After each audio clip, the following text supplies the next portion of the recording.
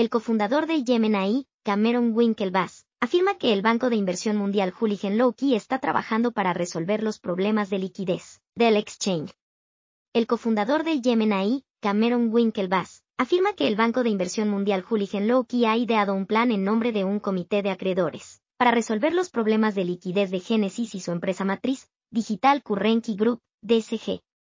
Según Winklevoss, la resolución de los problemas de liquidez permitiría a los clientes de Gemini recuperar los activos que les adeudan Genesis y DSG tras la quiebra de FTX. Según el comunicado titulado Earn Update, compartido en Twitter por el cofundador de Gemini, el plan presentado por Julian Loki en nombre del comité de acreedores, se basa en la información recibida de Genesis, DSG y sus respectivos asesores hasta la fecha. Winklevoss añadió que, el comité de acreedores espera una respuesta inicial esta semana. En 2021, Gemini de Winklevoss lanzó la oferta Kern, un programa de generación de intereses para clientes de Estados Unidos a través de una asociación con Genesis. Ofrecía a los inversores la oportunidad de ganar un 8% en intereses prestando sus criptomonedas, incluyendo Bitcoin, BTC y stablecoins. La plataforma puso en pausa el programa el 16 de noviembre, tras quedar expuesta al colapso de FTX.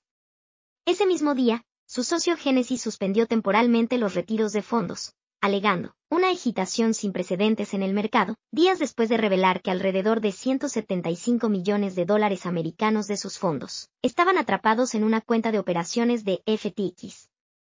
El 3 de diciembre, Cointelegraph informó de que el prestamista de criptomonedas Genesis y DCG supuestamente debían 900 millones de dólares americanos a los clientes de Gemini. El informe se basaba en información del Financial Times, que citaba a personas familiarizadas con el asunto.